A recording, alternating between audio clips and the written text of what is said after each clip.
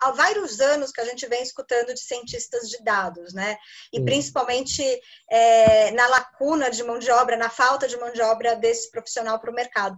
Mas ela é uma profissão nova, assim, se você puder dar um pouco de noção de tempo, ou as pessoas usavam o termo cientistas de dados sem ser uma formação formal, de, e quando uhum. que ela ganha essa notoriedade toda? Sim. É, é, esse ponto é bem importante, assim, porque é, se a gente pegar na linha do tempo até 2014, 2015, a gente estava muito acostumado a trabalhar com os chamados data warehouses, que eram é, você pegava um apanhado de dados da empresa, dos sistemas de CRM, de RP, é, os sistemas transacionais mesmo da, internos das empresas, e você montava um grande banco de dados que teria uma visão única de algumas entidades da tua empresa, seja ela do cliente, é, do perfil de compras, é, dos produtos mais vendidos, é, de produto, de fornecedor, de cliente, né? Era uma visão muito assim é, para dentro e do relacionamento com os teus stakeholders, né? A partir de 2015 a gente vê o advento de tecnologias novas, é, principalmente de big data. Então, começar a lidar com grandes volumes de dados, onde você se preocupa em ter visões 360.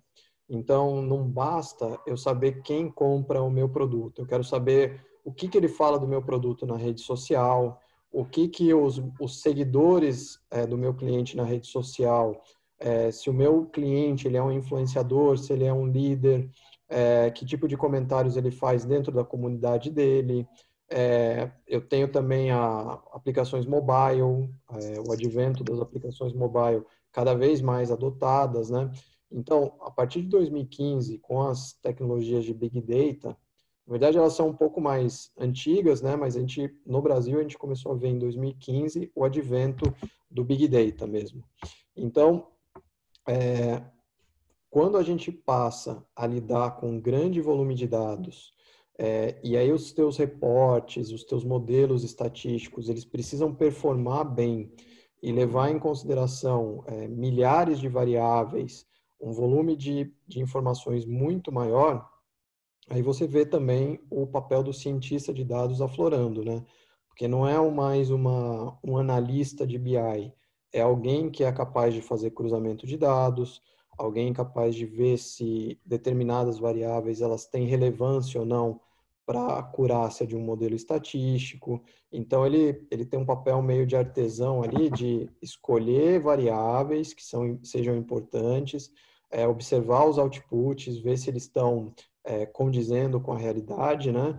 E, ao mesmo tempo, lidar com essas tecnologias novas. Então, é, começou a exigir skills um pouco diferenciados, né? Então, 2015, 16, 17 já era um, um auge para cientista de dados e continua, tá? O que aconteceu foi é, essa especialização, separar um pouco as fronteiras entre quem trata e disponibiliza os dados e a pessoa que faz as análises.